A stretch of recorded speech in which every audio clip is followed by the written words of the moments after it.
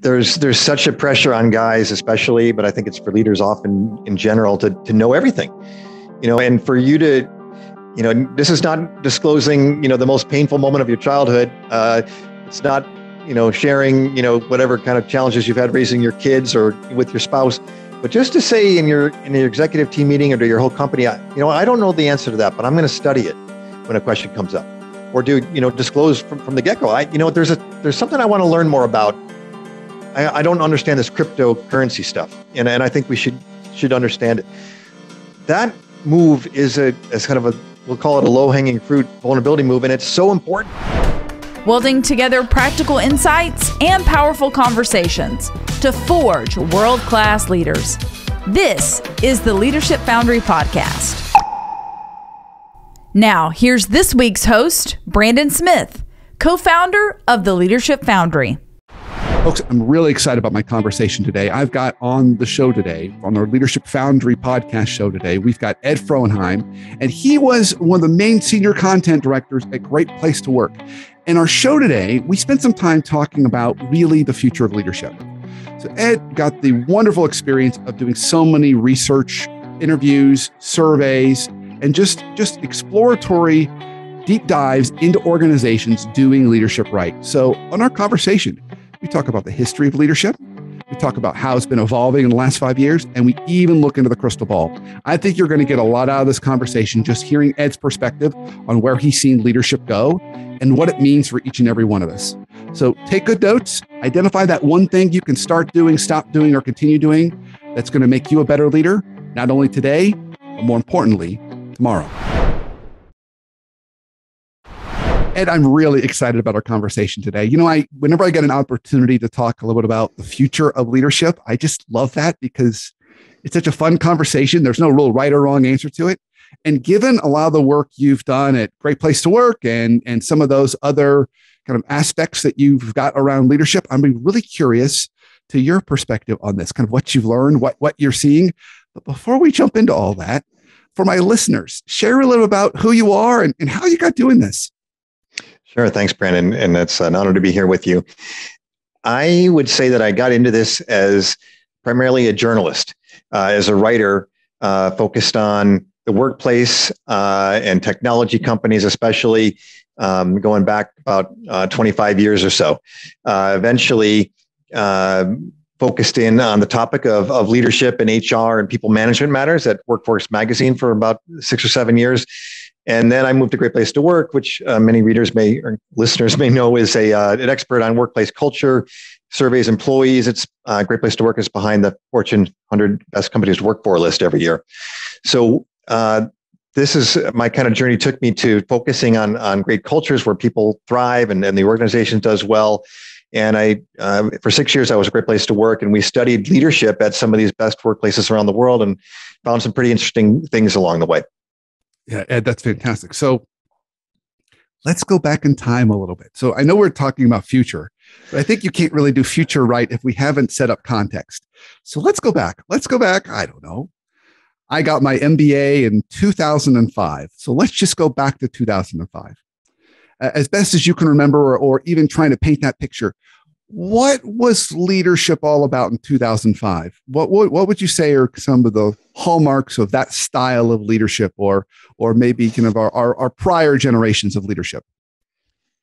I think that's a neat time capsule ex- exercise brandon. Uh, i would say that at that point we still had a pretty conventional notion of leadership uh, where the CEO uh, or top executives are supposed to be decisive, they're supposed to be charismatic, uh, they're probably extroverts, uh, comfortable talking in, in uh, to large groups of people and and thinking on their feet, um, and they probably are uh, pretty comfortable giving directions, uh, really kind of seeing themselves as as the the main decider of things.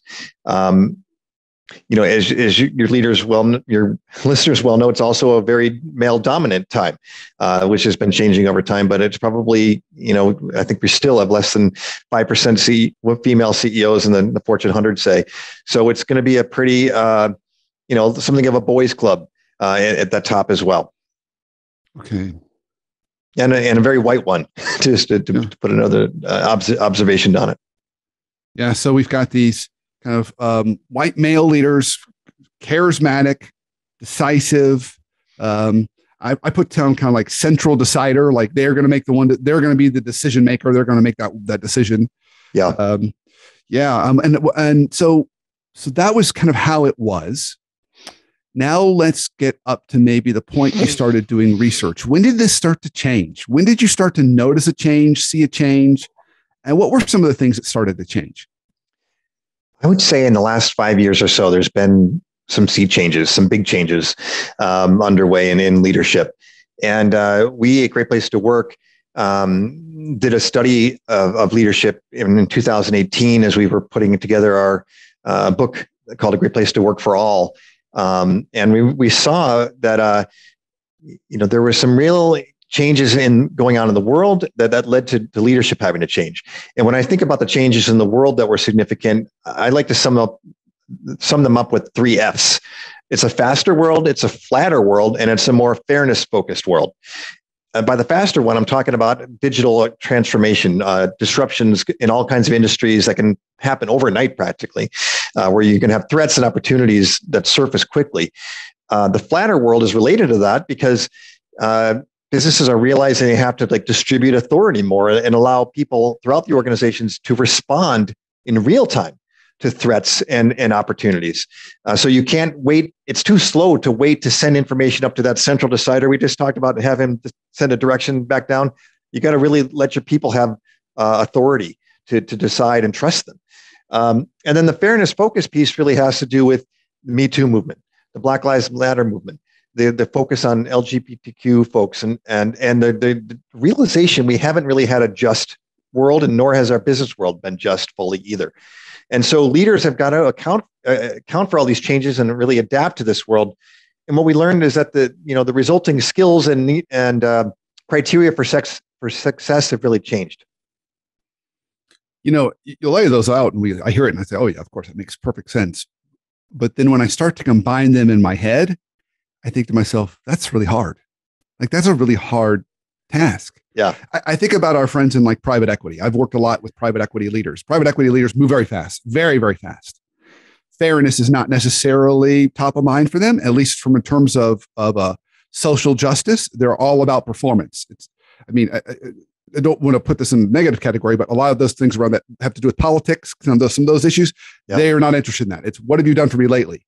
And if you deliver this month, you, you still have your job. You don't deliver this month, you're fired. Like that's how private equity works. So we've that makes sense when we think about faster and flatter, right? We've got to move fast. But now we've now got to consider all these other components that are more about, you know, um, humanity and, and treating people fairly. Mm-hmm. And yet performance is accelerating. Yeah. So I don't know if you have like the silver bullet or the secret sauce or the magical uh, code, but I, I would love to get your thoughts at how to yeah. how how do leaders strike that balance? Well, we did find some uh, interesting findings that really do point toward a, uh, a portrait of this leadership of the future, or at least of the moment. And I think it, it, it's a it's a portrait that's going to have legs into the future.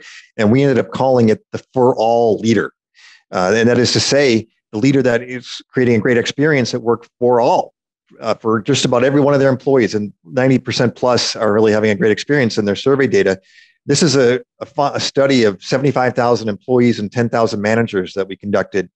And we discovered that the, the, the, managers that were most inclusive, where 90% plus had a great experience when we, sur- we surveyed them, they also were the most productive. They had the highest uh, scores for uh, productivity, uh, on measures of agility and retention. So they're holding on to the people, and their people are agile, they're innovative, and they're productive. Uh, and then we then said, well, what are these people like? And we looked at the comments that employees made about these leaders, and, and, a, and a very different persona showed up from that 15 year ago one that you asked about initially. These for all leaders are humble. They let they sit they sit back and let others take the credit for for their team's um, you know successes. They're also very much about creating bonds of trust. So they really focus on that people piece and how the work gets done, uh, and they're very purpose oriented. So they're not just focused on those quarterly results they're focused on that like pot of gold at the end of the rainbow. Let's let's achieve our mission here, uh, so that it really inspires people to do their best work. And so, even though it, it's it's a little counterintuitive that these folks that are you know, attending to the soft stuff are really successful today. They're getting the hard results and they're also have creating a great experience for the people. Wow. Okay. So if a leader was listening to this right now, which they are, and they say to themselves, okay, all right, I, I, I hear you, Ed. I, I want to get better at this. Is there a starting place? Where, where, where, where, where can they start down this path to become a kind of a for all leader? I think the first place to start is listening. Mm. Leaders historically have been about speaking. You know, let me tell you what to do. You know, but it, these for all leaders and and leaders that are working to be for all leaders really focus on understanding what their people are going through. And I think we've had a great opportunity during this, you know, the last couple of years of crisis, the pandemic, the racial uh, reckoning, uh, even anxiety about climate change, all these things, political polarization. There are opportunities to understand what your people are experiencing, what they, what their hopes and dreams are, besides their anxieties. Uh, and when you do that, when you spend spend the time to do that, you open up tons of new doors, and and you really win the trust of your people, and you build these positive bonds that are so important you know, we know now from research at Google and elsewhere about psychological safety and how that's the key to success for the teams at the most effective teams at Google, not the PhDs, not the number of, of high tier schools that were on that team. It's rather that people feel safe enough to, to be vulnerable. And so you need a, a leader who can be vulnerable themselves and who can create that, that's, that uh, atmosphere of, uh, of trust and of safety so that uh, when they listen to their people, uh, that that's uh, the first step really to create that kind of positive workplace atmosphere. So i just i just because i have to ask the question is there a step two? Uh, i'm not exactly sure there's a super clear step two so much as knowing that there's a step one but i would say that you know those other elements i mentioned before of the for all leader these characteristics of being focused on your on the purpose being frequently uh, calling out the you know frequently calling out that goal. What is the highest uh, highest uh, purpose of your organization so that you are elevating their uh, their spirits really and you know and inspiring folks to to to bring their best work and their creativity? Um, and the humility. You know the humility is not is partly about sharing authority. That's that good speaks to that that flatness piece. It's also about uh, celebrating your, your team's achievements and, and not trying to take the credit yourself um, you know that that is no longer really acceptable, especially as younger people come in the workplace. They want to get the feedback for what they've done. They want to get credit for what they've done. And that older school approach of, of really kind of being the barking boss who, who steals the limelight is, is, is that, that era is over with, really. Yeah. Okay. Great. So, I mean, you've painted some, a, a compelling picture for us.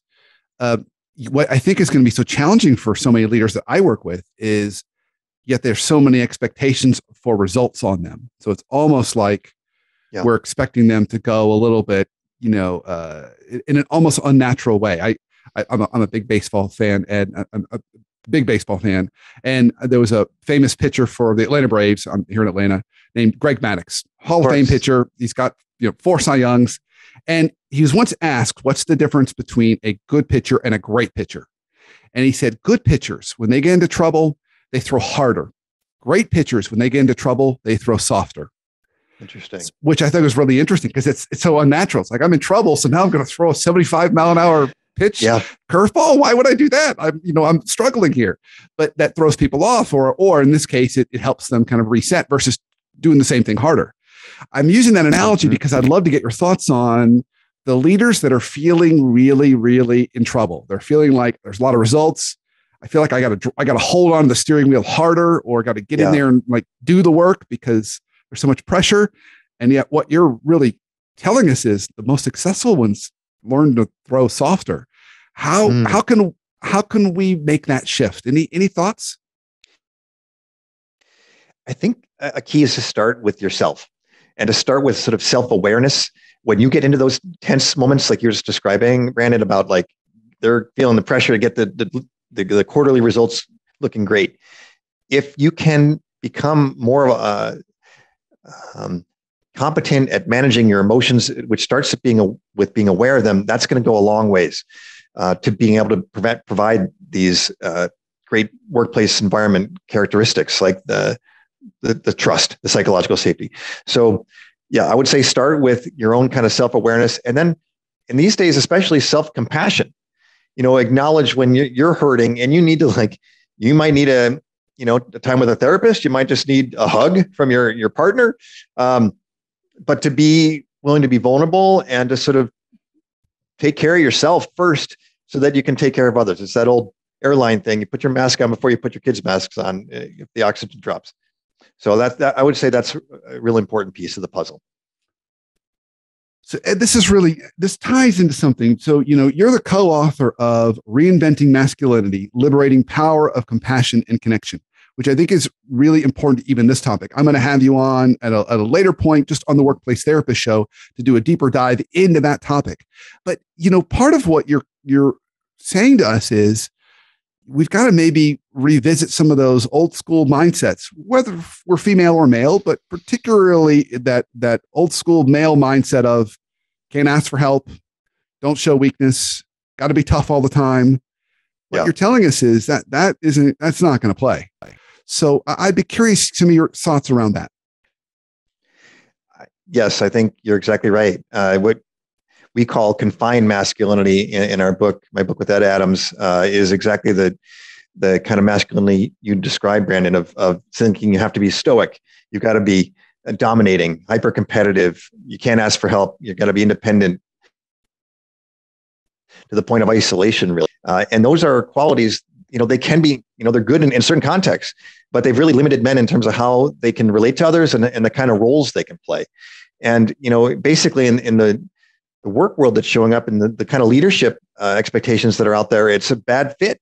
Because right now, if you show up as that traditional man, you're going to come across as rigid, cold, and isolated in a world that's now really calling for agility, warmth, and connection.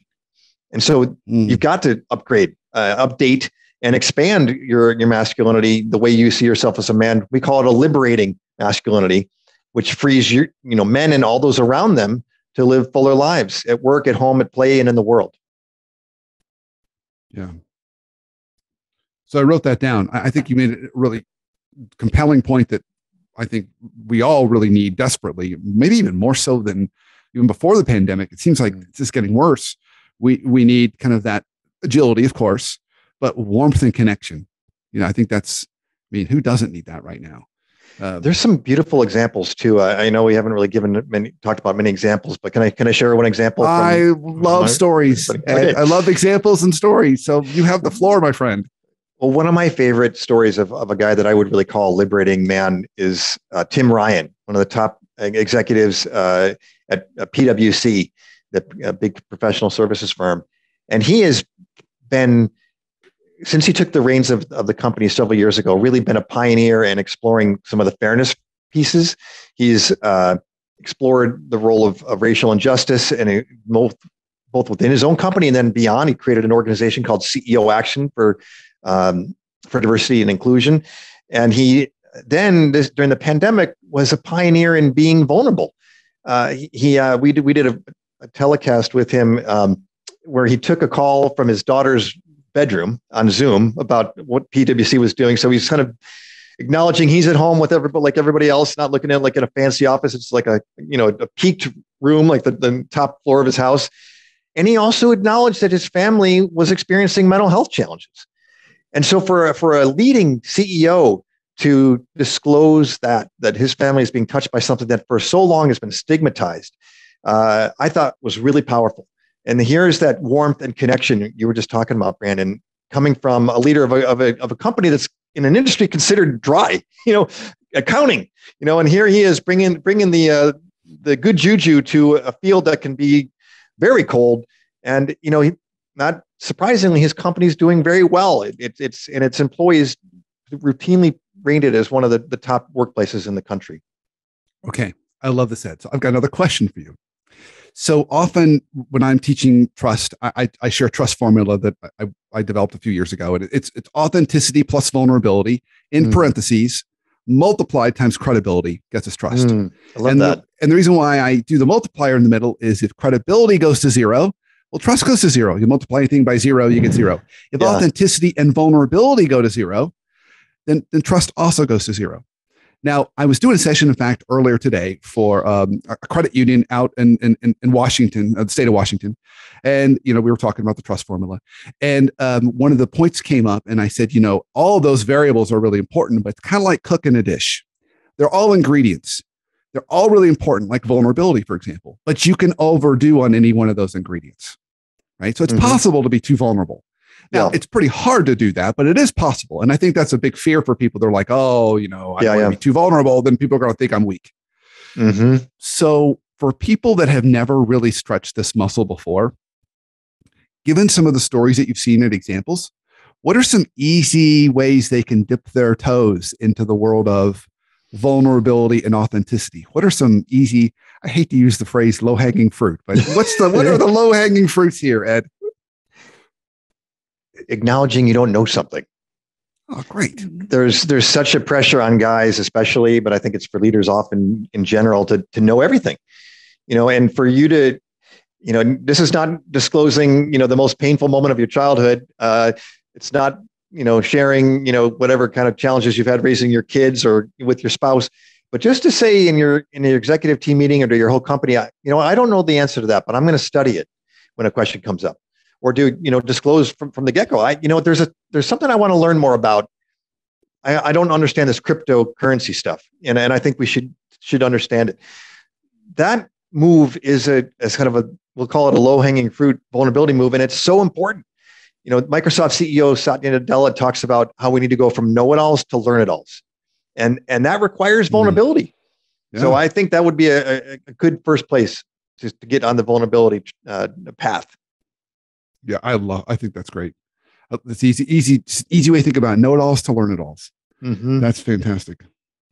Uh, okay, so now we're gonna now take. We've, we've talked about the past. We've talked about trends and how things have evolved the last five years. Here comes the fun part, Ed. It's my it's my crystal ball. So if I put my crystal ball out in front of you, and you look out, I don't know, maybe it's five years, maybe it's ten years, maybe we do like another 15 and we got another 15 years. Uh, what what do you see as the future of leadership? What is what is a leader going to look like in 5 10 15 years? What, what does she look like? What does he look like? What are some of the traits behaviors that are going to allow them to be successful in this world we're in? Thank you for inviting me to look in your crystal ball with you uh, brandon. What i see is a shift from leaders trying to be the man of steel to becoming men or people of teal. That is to say, mm. moving from this superhero mindset where you've got to be invincible, you got to save the day single handedly, uh, you've got to be super strong. And all those things lead to some of the problems we've mentioned before. This is the past, the isolated, rigid, cold stuff. To when I talk about being a man of teal or a people of teal, that's referring to what I see as the future of organizational cultures, uh, teal organizational cultures. Um, this is a term that refers to companies that are more soulful, and they have three main characteristics. They're holistic. They, they really account for the entirety of our human emotions and even spiritual needs. They're self managed, so they're much more about uh, shared authority and, and democracy in the workplace. And they're purpose driven. They're really not focused on making a profit. The profit is secondary to them solving a big problem. And when leaders show up for those in those organizations and embrace those those key pillars of a teal organization, they are what we described earlier. They are agile. They're able to kind of learn quickly. They don't uh, worry about their title. Say they're worried about the purpose, so they they can they can shift and, and learn something, or or even put somebody else in charge uh, for for for a project. They're also warm because they're they're attuned to people's emotional needs, not just the, the sort of the job descriptions that they're they're supposed to take care of, and they're connected they're connected to, to, their people and their and also to the planet and to the wider ecosystems in which we operate. Um, and so I think that this teal consciousness, which is really part, it's a wider human uh, development that, that some theorists like Ken Wilber talk about with a series of colors. Um, this is, I think, where the world is going. Where we're, we're now seeing in, in, in the pandemic in the past couple of years, we are in one ship together here. And that level of consciousness that we can't see our companies as isolated, we can't see ourselves as isolated we can't treat our teams just as as cogs in a machine or, or superheroes that are you know not really human. We've got to recognize that we are human and we're all connected And the leaders that are going to be thriving in the future are the ones that are like that for all leader and maybe go a little further in terms of sharing authority and really embracing all the kinds of emotional needs that can come up and including seeing ourselves connected to our entire environment you know it's really interesting as you were talking um, what was going through my head was that whole idea of going from working in the business to on the business. It's a common often you know mm-hmm. used term particularly in the entrepreneurial space. Mm-hmm. and at first i thought oh that's what he's saying. And i thought wait that's not really what he's saying. And then i thought i think this might be what he's saying. So i'm gonna i'm gonna do my best to try and take what you said and put it into that lens. Yeah. Okay. so today, a lot of the challenges I hear from all the leaders I work with is they get. Can I just interrupt for a second, Brandon? Yeah, Maybe sure it's working through the business. I, I because think, you're you're you're using the business in service of a better world. I think that's I, I, think that's even a better way to put it than what I was going to put it because today so much of the leaders are fo- they get drawn into the business doing the work. You're not saying become distant and you're going to be up in this, you know, top of the mountain and you know you're sitting there and kind of you know thinking about the world and thinking about you know uh, something very kind of noble all the time. You're not necessarily saying that. You're saying you're still involved in business but you're in well the parts you're involved in are the people and the energy and the emotions not mm-hmm. the actual work itself. So, and i think that's an interesting distinction which maybe is part of like doing it through the business. So it's it, you're, you're still engaged but you're not you're not you're asking people like how are you? How can i support you? versus this is how i want you to do this thing it's, yeah. it's a little little different conversations. It's what it sounds like. Yeah, I think that's I, I like how you put it there. Uh, one great example of of what maybe is the the most famous and prominent teal organization and teal leader is a fellow named Joost de Blok, who's the head of a, a Netherlands uh, home healthcare agency called Buurtzorg, and basically he he started this alternative to like more top down healthcare companies in the Netherlands, and said we're going to have teams of nurses manage themselves and I and I'm he he had experience in this world, and it was frustrating to him. And he he knew that people that were delivering the care knew how to take care of the issues, and they knew how to solve the problems on their own. So he, as a leader, is much more just a servant who's supporting, as you were describing it. And these teams of nurses, they set budgets, they hire, they train, and they are the most successful uh, organization in this territory in the in in the Netherlands. And more and more organizations are trying to learn from them.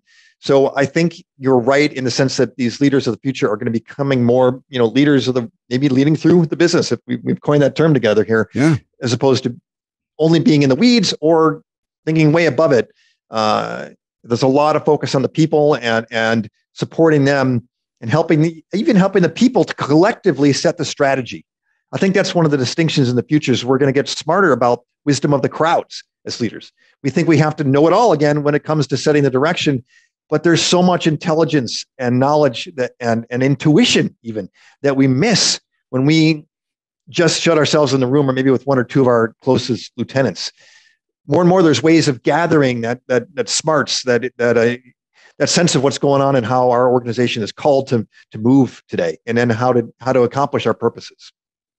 So this will be our our last kind of big because we already have to land our plane. So uh, this will be kind of the last big question but i'm curious for you that last comment you made around getting that information from what's going on in the in the organization. Historically, it's been surveys, employee engagement surveys to be even more more specific. Mm-hmm. Not bad necessarily, but uh, the organizations I work with, fund the fundamental problem is there's not that that full circle ecosystem of communication where yeah. communication goes down, it gets translated down to the, and then and then there's feedback that comes back up. You know, where where yeah. those frontline leaders say, "Well, this is why this works or doesn't work."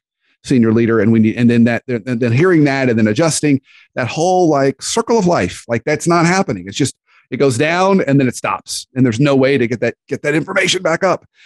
Have you seen anything that works, or even if you look in the crystal ball, could can you imagine anything that might work? I think it, there are ways for this to work, and some of them are they do take time and effort to you know make sure you are synthesizing that that those employee surveys that is a source of good data, and then kind of making sure you you communicate back to the the staff what you heard and what what you plan to do with it. But there's also I think you know a whole new body of or it's not totally new, but there are some alternative methods of gaining that wisdom of the crowd, like uh, having people work in small groups and share what their ideas are. And then you start having, you spread those, you share those across the organization, have people vote up what, what's interesting to them. um, you know, you can get a lot of clarity by that sort of bottom up wisdom. Uh, and then you can start, you know, inviting people to have to work on those projects with cross-disciplinary teams, teams that are cross-level. So you include people from the front lines all the way to the top. And, and some of the best workplaces do that sort of thing. So there's, you know, to your point of working with the people issues, there's more attention that I think needs to be spent on gathering that collective understanding and that collective desire uh, and collective intelligence than we've done so far in organizations. Yeah, it's great, Ed. So I ask all my guests this question so as we're starting to land the plane, um, particularly for the Leadership Foundry show. Uh, I'm going to tweak this question just a little bit. Okay. So I would be curious when you, what is one main hack you have for us that every single leader listening to this can use that will, could make them a better leader starting tomorrow? What's one thing they could start doing differently that will start to get them closer to this kind of leader for all? Ask people to tell their life stories in a minute. It's hmm. a tactic that I picked up from a leader, the head of of uh, either belonging or, or uh, diversity and belonging at, at Salesforce, Tony Tony uh, Prophet, and he he came in and did a little demonstration. He's like, "Okay, turn to your neighbor and tell your story in a minute." And it was a remarkable exercise because it it, it prompted people to think holistically uh, about who they are, what what motivates them, what drives them. If leaders can invite their team members and their peers to share more of who they are, then those leaders can connect with them better. They can build those those bonds and they can create a higher performing team. Wow, that's a really uh, that's a challenge. A minute, huh? Wow. Okay. I sometimes extend it to 90 seconds. I, and I, I stole it as I write a lot of articles. I've stolen as a way to like just get to know someone at the beginning of an interview. It's like, tell me your tell me your story in in, in 60 or 90 seconds. So uh, if you need 90 seconds, that's okay. Yeah, and I love that. That's fantastic. Great way to, as you said, to not only get you thinking about who you are and how you show up, what matters to you, but you learn a lot about the other person. You can connect with them very quickly. Yeah. So, Ed, this is great. If people want to follow you, learn more about you, get a copy of your book, where where can they go? You can find me on LinkedIn. Uh, you can also uh, go to my website, at edfrauenheim.com, and also uh, the Teal Team website is uh, thetealteam.com. And um, my, the the book with Ed Adams is available on Amazon. So uh, any of those places, I'm happy to connect and you know, would love to continue the conversation. Well, Ed, this is great. Thanks for all the work that you've already done, the work you continue to do, and thanks for uh, spending some time with me in my crystal ball. I, have I've learned a lot. I love the picture that you're painting. I think that's a really inspiring picture of leadership, and I think it inspires everyone listening to the show today to do what they can to get closer to that. So Thank you for all that advice and encouragement. Thank you, Brandon. As I do on all the shows, folks, I always take lots of notes. I took lots of notes. I'm not going to go over all my notes in detail, but I am going to hit some of the highlights that stood out for me with my conversation with Ed. Well, first, he talked about the change over the last five years. And he said, look, the world has gotten faster, it's gotten flatter, and frankly, it's become a more fair world. And so the demands for us on, as leaders is really changing. And he talked about that turning us into this for all leader. And I said, Well, Ed, what does it really mean to be a for all leader? And he said, he said, really, the best leaders, they really create these inclusive environments where they are leading with humility. Um, they're focusing on bonds of trust and they're constantly hitting that drumbeat of purpose. And I think that's quite a call to action for all of us. And what stood out for me that is going to be so challenging for each and every one of us is that Ed essentially said, we've got to spend time moving away from doing the work, being kind of being in the business, like I always talk about, going from in the business to on the business. And we've got to think more about how do we lead through the business and through the people. And that's a different kind of leadership skill altogether. But I know if we stay focused on it and we really practice it, we can all get better on it. So think about what was your takeaway from today? Was it something different than that? I would love to hear any comments on the show. Email me directly if there was something that stood out for you that either you found really insightful or challenging, uh, let me know. I'd love to take that on so we can all learn together. But as with all these shows, the goal is for you to take that one thing away It's going to help you become better, not only today, but tomorrow.